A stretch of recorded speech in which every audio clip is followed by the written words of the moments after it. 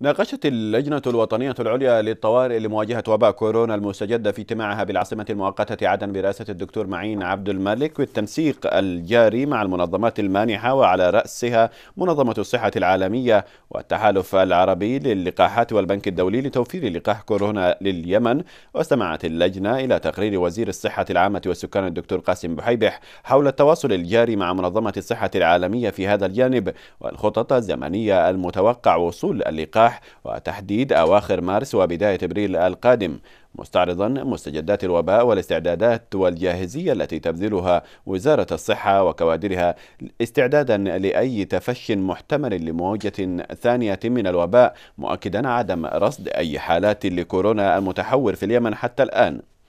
وأشاد الاجتماع بالجهود التي بذلتها اللجنة العليا للطوارئ وأعضائها السابقين في ظل ظروف استثنائية ومنذ بدء جائحة كورونا منوهين بما حققته من نجاحات رغم الإمكانيات المحدودة في توفير مراكز عزل وأجهزة الفحص وتدريب الكوادر وتقوية قدرات القطاع الصحي بالشراكة مع الدول والمنظمات المانحة. واستعرضت اللجنة أولويات عملها للفترة القادمة بما فيها إعادة هيكلتها واستمعت إلى عدد من المقترحات لتنشيط عملها وتعزيز التنسيق والتواصل لتقوية قدرات القطاع الصحي والقيام بالمسؤوليات المناطة بها وفقا لقرار تشكيلها. شارك في الاجتماع وزراء الخارجية الدكتور أحمد بن مبارك والإعلام والثقافة والسياحة معمر الإرياني والمالية سالم بن بريك والداخلية اللواء إبراهيم حيدان والتربية والتعليم طارق العكبري ومدير مكتب رئيس الوزراء المهندس أنيس عوض. حارثة